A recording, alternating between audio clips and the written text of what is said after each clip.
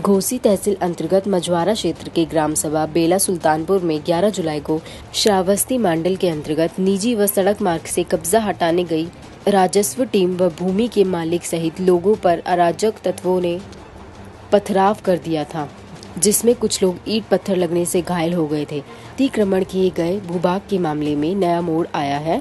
अतिक्रमणकारियों द्वारा उक्त सड़क के किनारे पीडब्ल्यूडी के दायरे में आने वाली ज़मीन व कश्तकार के चक को आबादी घोषित करने का प्रयास किया जा रहा है। इस मामले को लेकर करीब 10 दिनों से गाँव में तनाव बना हुआ है और दोनों पक्षों के लोग आमने सामने आ रहे हैं, जिससे कभी भी कोई भी घटना घट सकती है। घोसी तहसील अंतर्गत मझवारा क्षेत्र के ग्राम सभा बेला सुल्तानपुर निवासी राकेश कुमार राय व अन्य के गाँव स्थित अजारी नंबर 430 व पीडब्ल्यूडी रोड के कुछ भाग पर गाँव के अवांछित तत्वों ने मडई व गुमटी रखकर अतिक्रमण कर लिया था।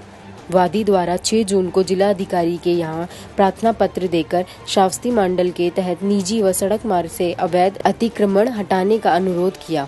अभियान के तहत 11 जुलाई को अतिक्रमण हटाने राजस्व व पुलिस की टीम गाँव पहुँची थी आरोपियों ने विरोध करते हुए टीम पर. जिसके बाद पहुँची पुलिस ने दो लोगों का शांति भंग में चलान करते हुए अतिक्रम हटवाया व मामला शांत कराया था अवैध अतिक्रम करने वाले अवांछित तत्व उक्त सड़क की ज़मीन व चक के किनारे की ज़मीन को आबादी के रूप में अवैध कब्जा करने पर हथियार चार रहे थे, जिससे दोनों पक्षों के लोग बार बार लाठी डंडों के साथ आमने सामने आ रहे हैं रविवार की रात्रि करीब 9 बजे दबंगों के उक्त खाली कराई गई ज़मीन पर कब्जे की नीयत से गुमती दोबारा रख दी गई, जिनके बाद तनाव और बढ़ गया। सूचना पर पहुँची पुलिस ने गुमती को हटवाया। पुनः रविवार को सुबह गुमती रखी जाने लगी, जिससे दोनों पक्षों के लोग आमने सामने आ गए। मामले में वादी पक्ष के कोतवाली पुलिस व पूर्व में मजवारा चौकी पर तैनात रहे एक एक एसआई पर अतिक्रमणकारियों को सह देने का आरोप लगाया है। रविवार को लाठी डंडों से लेश होकर अवांछित तत्व चक स्वामी के दरवाजे दरवाजे पर पहुँच गए, जिससे अफरा तफरी का माहौल हो गया। सूचना मिलते ही भारी संख्या में पुलिस बल पहुँच गया। तब जाकर उपद्रवी भागे।